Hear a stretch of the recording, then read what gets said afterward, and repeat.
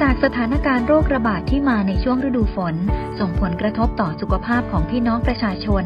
นำมาซึ่งการแพร่ระบาดของโรคต่างๆ ไม่ว่าจะเป็น โรคน้ำกัดเท้า โรคเชื้อรา โรคฉี่หนู โรคบักทะยัก โรคติดเชื้อไวรัสซิก้า โรคไข้ปวดข้อยุงลาย และโดยเฉพาะโรคไข้เลือดออก ที่มีการแพร่ระบาดสูงขึ้นอย่างรวดเร็ว ในช่วงเดือนที่ผ่านมา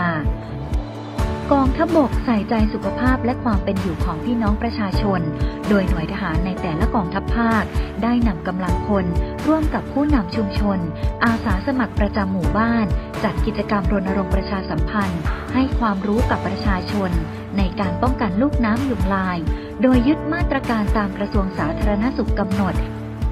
3. เก็บป้องกัน 3 โรค ได้แก่ 1. เก็บบ้านให้สะอาด 2.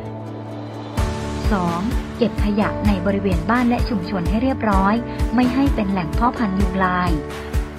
3. เก็บน้ำเก็บภาชนะกักเก็บน้ำให้มิดชิด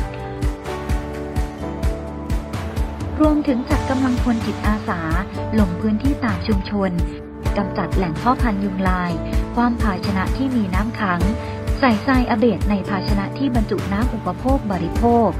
ฉีดพ่นหมอกควันในพื้นที่เสี่ยงตามอาคารบ้านเรือน เพื่อยับยั้งการแพร่ระบาดของยุงลาย ซึ่งเป็นพาหะของโรคไข้เลือดออก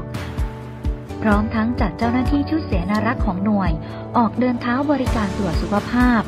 มอบยาเวชภัณฑ์ ให้คำแนะนำการดูแลสุขภาพในช่วงฤดูฝนกับผู้สูงอายุ เพื่อสร้างภูมิคุ้มกัน สร้างสุขอนามัยที่ดีให้กับประชาชน ตามนโยบายของผู้บัญชาการทหารบก ในการดูแลพัฒนาคุณภาพชีวิตของพี่น้องประชาชนอย่างเต็มกำลังความสามารถ กองทัพบบกเป็นที่พึ่งของประชาชนในทุกโอกาส